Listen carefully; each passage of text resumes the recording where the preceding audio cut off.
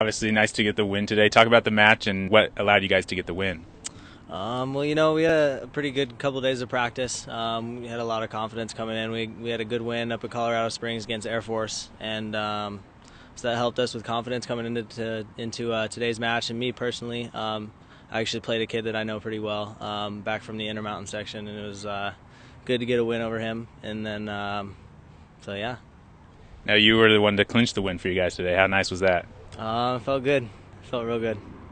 You talked a little bit about the confidence. I know you guys had some injuries early on in the season. Do you feel like things are kind of coming together for you guys right now? Absolutely, yeah. I think um, just the camaraderie of the team is it's it's coming around, and uh, just the feeling at practices that we're getting. It's uh, it's just a much better vibe that that we're getting at practices. So it's uh, transferring over to matches, and we're getting some wins. Now you have you face BYU this Saturday. What type of match are you expecting then? Um, it's going to be a dogfight. I mean, they're a good team.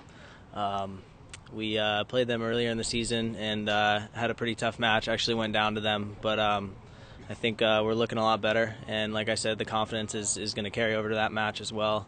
And um, hopefully, we can get the W. It's going to be a tough match. They're a good team, so.